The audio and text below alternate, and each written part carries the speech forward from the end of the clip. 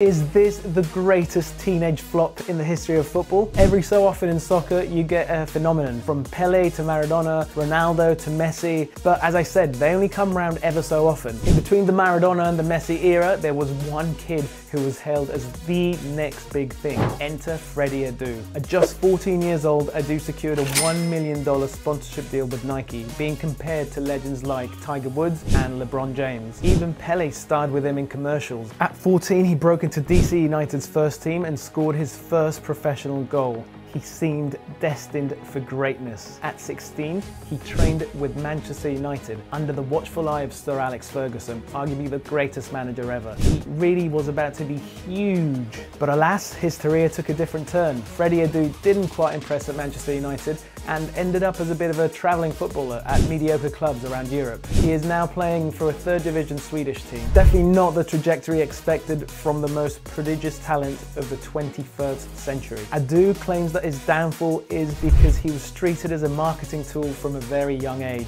He might have a case to be fair. Despite his career struggles, the story does have a happy ending. Adu used his earnings to financially help his mum, who had been working multiple jobs to support him ever since she emigrated from Ghana to the USA. So, is Freddie Adu the greatest teenage flop, or is there someone with a bigger predicted future that flopped? Let me know your thoughts in the comments below.